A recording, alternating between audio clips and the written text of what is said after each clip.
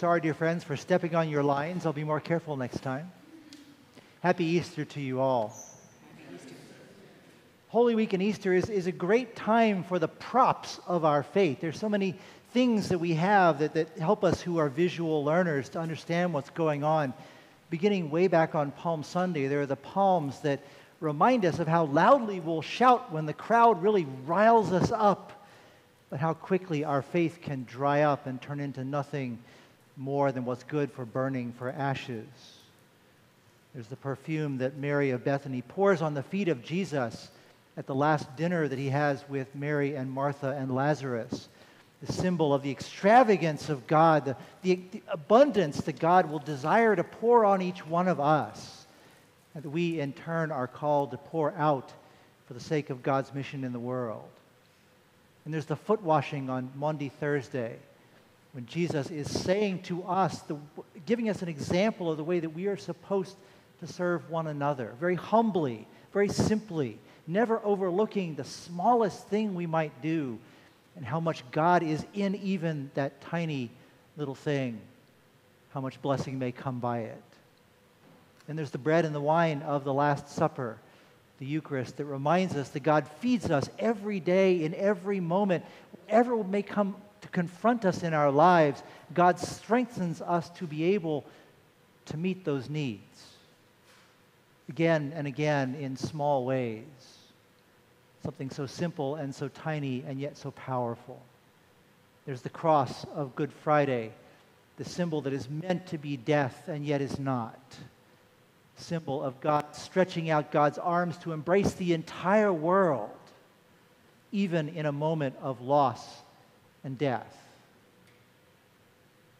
And then today there is the empty tomb. It's the scene of, of much of the action this morning. Everybody seems to show up at the tomb at some point today. In all four Gospels, the women who have been following Jesus come to the tomb to try to do this, this last service for him. What at, 8, at 6 a.m. this morning I described as a dirty job, but nonetheless a very holy one in various versions of the story, one or another of Jesus' other followers comes. Sometimes it's Peter, sometimes it's Peter and John.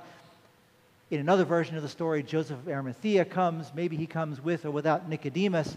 There are guards in the Matthew version of the story. All these people are around this empty object of death that no longer is an object of death, at least for those of us. This morning, we also come and stand before it. And surely we must be just as amazed as Jesus' original followers were, maybe more so. We who live in the age of science, we know how the world works. We know that God set everything in motion in a particular way, and it continues. Everything dies.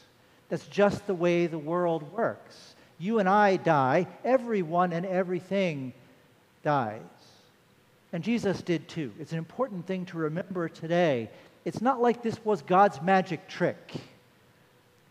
Jesus died, and yet it was not a period on the sentence, but rather a comma. Somehow the story only really begins today as we turn and walk away from the empty tomb. It recedes from the story very quickly. We never hear about it again. Something begins today that will continue tomorrow, the next day, every day of our lives. Easter is not an event, it is a way of living. But before we leave the tomb, just one more time, it's worth it to turn around and walk into it. It may seem like a very strange thing to do. And yet, I think that once we are in it, we will recognize that most of us, indeed all of us, at some time in our lives, indeed at many times in our lives, find ourselves in tombs.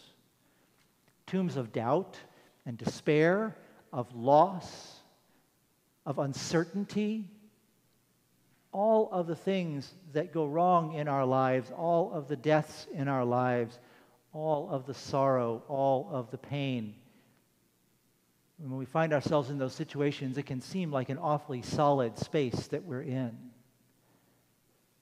As long as we stay facing into the tomb, all we see are the three solid walls. But if we will just turn around, we will discover that the stone has already rolled back, been rolled back. The way out was always right there. That's part of the beauty of the story. The women show up at the tomb and find that the stone has already been rolled back. There's no mechanical thing going on. It's not like they have to wait while somebody does it, it was already gone. In some cosmic sense of, of God's time, it was always rolled back. And so it is for you and for me in our own lives.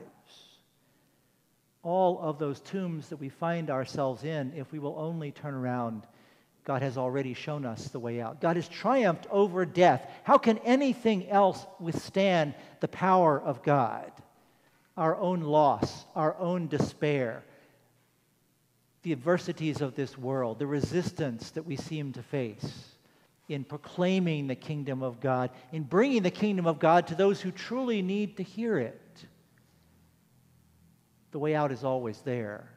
And once we see that, dear friends, we also recognize that the other things that seemed like the three solid walls never really were all that solid either. That is the glory of this day. God has triumphed and triumphs completely over everything. Death was the world's last, last best shot. It always works. It always silences anything and anyone, but today it proves not to be strong enough. God's victory over death is complete. What else will God not knock down in our own lives? What else? What other false idols, the things that we fear the most, will God not defeat? God has triumphed over death. Nothing else can stand. There is only one other thing for us to do, and that is to say, Alleluia. So it is, dear friends, there is hardly anything to preach today. God has done all the heavy lifting. You and I are freed from all of that which has held us captive, all that which has walled us in, all those stones that appeared to be rolled before us. They're gone rolled back.